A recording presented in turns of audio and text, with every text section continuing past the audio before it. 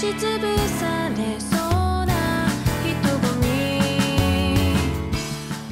Welcome everybody to this top 10 best isekai anime ever. My name is Misty Slosh Connects. And oh yeah, I suppose I should explain what isekai is. It's a Japanese term for a story where a character goes into another world for the major part of the story. Back in 2016, I made a top 15 best otherworld anime, and well, since then there's been an avalanche of new anime about the topic, so I thought, hey, when, when year's long enough, Anyway, a couple of rules I want to cover before going in. Just like the previous top list, I'm not covering Game World. They don't count because the player is actually sitting in his living room. So all Sword Art Online, Overlord, Log Horizon, Act, or whatever, they they don't count. Rule number two, I don't want to cover any title from that previous list that I mentioned before. So overall, that should give you 25 total. If you're still hungry for more after that, you need an intervention. Or move on to manga. There's a crap ton of those lying around. But let's go. お客さんたちちょっと騒がしすぎやしませんかねこの店での暴力沙汰はごめんだこれ以上続けるんなら今日のご注文 Number 10, and the owner of the thumbnail is Restaurant to Another World. Are you upset because Food Wars episodes only come out once a week? Ever heard of Restaurant to Another World? Well, if not, think about Food Wars, but in a fantasy setting. The anime is pretty passive, it's slow paced, and it's a story about how a tiny restaurant closes its doors for a special type of customers on Saturdays. The ambience is light, it's a kind of anime that just brings a smile to your face. Might not be as engaging as the other title in the genre, but if food and fantasy is just your craving, you might find yourself with a surprising entry. I mean, it's, it's still number 10, but it made the list, so that must count for something. あいにく今出せるのはこんなところでなどうですかうん 何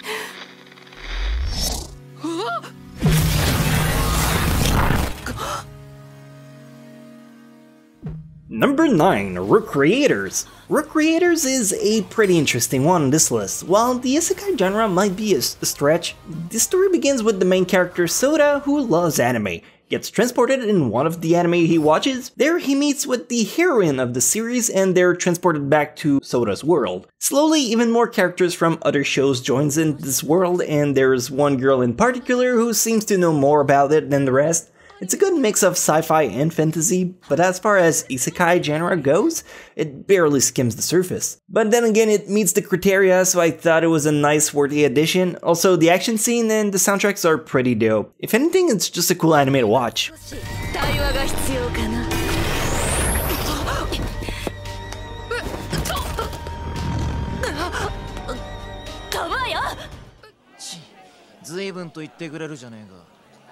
対話が必要かなカバよ随分と言ってくれるじゃねえかもんなしのくせして偉そうに言える立場かよ人に物頼むんだったら金よこせよな Number 8, Fushigi Yugi. Fushigi Yugi is a story about two students who are transported into a book world fantasy of ancient China. There, the girl earns the job of becoming the priestess, and she must find celestial warriors who are gonna allow her to summon a god who will grant her wishes. It's kind of like uh, Chinese Aladdin. this anime is a bit on the older side. It came out in 95. It's a shoujo, so a lot of the aspect in the anime revolves around romance. That doesn't take away from the action, but if you want purebred butt kicking, you'll want to pass this one. It focuses a lot on characters' development. The show is very similar to Inuyasha or Akatsuki no Yona or the Twelve Kingdoms. If older shows don't turn you away, I'd say consider this one. もあなた先ほど捕らえられた宮川お願いその人に乱暴しないであれ光お兄ちゃん忘れ物悪いなサンキューお礼はこん Number 7 Digimon Adventure. Remember this anime from the past? Digimon? It's a show I used to watch as a kid. Didn't think much of it back then. It was entertaining, and when Pokemon wasn't on, it was my scapegoat. Yeah, yeah, I was Team Pokemon. But now with a step back, I can tell you it's a pretty solid anime. The story starts with eight kids who get sucked up in a digital world. It- it's not gaming, it counts. In this new land, everyone has some kind of pet who can evolve and um, pr- press B to cancel. Together, they must join force and fight off evil monster who wish harm to the digital world. There's also a bunch of episodes, so if you're looking for a long adventure, I'd recommend this one. もしもしあ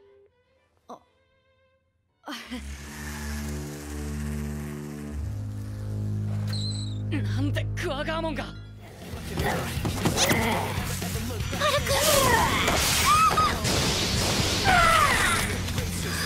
大丈夫。立てる。Number 6 Hai to Gensou no Grimgar Grimgar is a fascinating isekai title to me. The story begins with several individuals who wakes up in a dark tower. When they go outside, they realize they're in a brand new world called Grimgar, Similar to a JRPG, although it's not really a game, doesn't count, doesn't, doesn't count. The character must achieve quests, level up, and learn how to fight as if their life depended on it, which pretty much is. Eventually, a group of six persons team up together and they create a party, each one covering a different class and struggling to survive on the day to day basis. So, wait, you telling me this is Sword Art Online done right? Holy shit, why doesn't everyone talk about this show? it, it's good is what I'm getting at. なんでか夢食べるときいつも慌ててしまうねやんか。10杯それで許されるのはシホルみてえな隠れ巨乳だけだ。Is...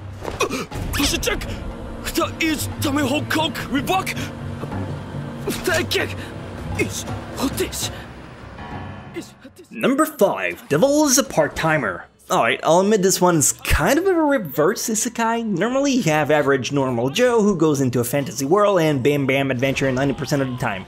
Here, well, it's the opposite. You have the demon lord, Satan, who leaves his realm and end up in ye old regular Earth, with a tiny shack apartment and rent to pay. So how does Satan pay rent, you ask? Uh, by working at McDonald. Well, a parody of McDonald. And he's really good at it. All the while his arch nemesis try to slay him. Seems like a dull show, but it's incredibly good. I promise you, you will have a good time with Devil's a Part-Timer. There's comedy, action when it matters, but most importantly, characters you care about. It's a shame it didn't get a second season, because that's one show I would actively follow. 今週はキャンペーン商品の地区売上1位がかかった大事な1週間必ずやブラックペッパーポテトの売上ベストを更新してやる おじめお引きをこっからあとはお手をにお任せあれ何をお前も帰る Number 4, Drifters. Drifters is an anime I think a lot of people forget when it comes to the isekai genre.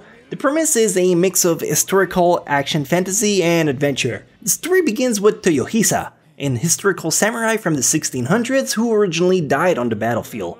But he finds himself waking up in a very futuristic place with lots of doors. After going through one, he ends up in another world along with other drifters, important historical figures. For example, Oda Nobunaga, a famous warlord from the Sengoku period. All of them must team up together and fight off against the giant force who oppose them. I think Drifters is an underdog, and I guess it appeals to a very selective kind of audience, but hey, if that's you, you might end up enjoying it quite a lot. ヒードリフターズやめなされ目が覚めましたか我が祖国の敵を打ち滅ぼす力を与えたまえ Number 3, Yojo Senki. Once again, here we have a slightly non-traditional isekai. Normally, when you say isekai anime, you have mystical quests, dragons, angel to slay, and the likes. In this case, you have a crazy antagonist who ends up in the body of a little girl, and she is absolutely insane. She lands in this World War I look-alike world where, talk about iteration, where you can use magic, and she's just batshit crazy. Cra- crazy with a K. Yeah, it emphasized the craziness. Anyway, so this little girl handles infantry and try to win her side with sometimes meta that aren't quite traditional. Burn the Jews. I mean, no, yeah, she she burns people, and some of them might be Jews, and that's where I was going with that joke when it just crumbled in my hands. Uh, anyway, if you like military and magic stuff, you've and you've seen Gate, this might be just a solid carryover you could tackle. Uh, I'm not walking out of this one. 小隊長殿に報告したいことがなんだ実はクルスト伍長とハラルド伍長 ねえ早く してどうせ何選んでも一緒よ引きこもりのゲームオタクに期待はしてないから Number 2, Konosuba. I think Konosuba is the prime example of an anime who does isekai perfectly. It's vanilla, but it's not boring. The show begins with Kazuma, who dies and lands in a new world with a goddess. They have a mission to slay evil and they must create a party to do so. Only problem is the only people they manage to recruit are incompetent idiots of the highest caliber. Since there's some gaming element mixed in like a quest system or a leveling up mechanic, you could think it's a game, but it's not. The comedy is highly accessible, going from goofy gags to over the top expressions to sometimes even highbrow humor. But the crew is lovable, and overall, it makes the whole adventure like hanging out with your best friends. I hope you'll like it. 回復魔法と支援魔法を使いこなし前衛に出ても問題ない強さを誇る万能色ですよ。オドまで削って消耗してるから寝かせておいてあげてくれる？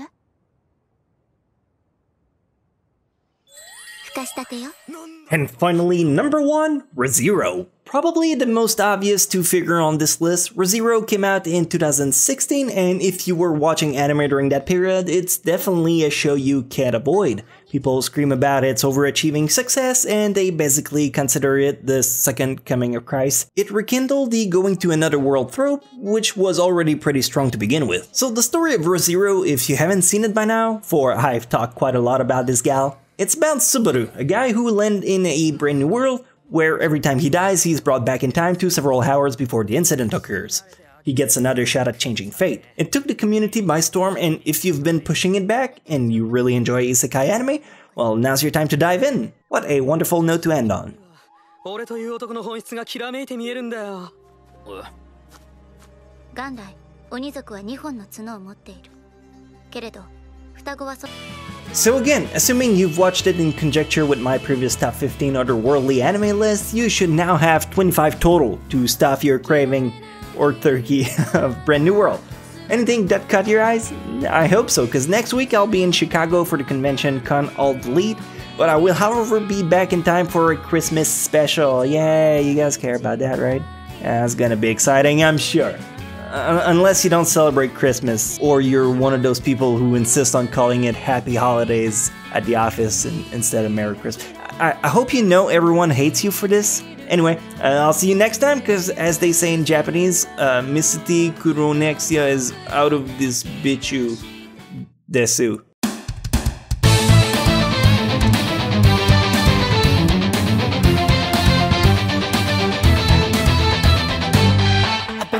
Times, I've been on the wrong side, I've been ashamed. So many memories, you know I'd like to change.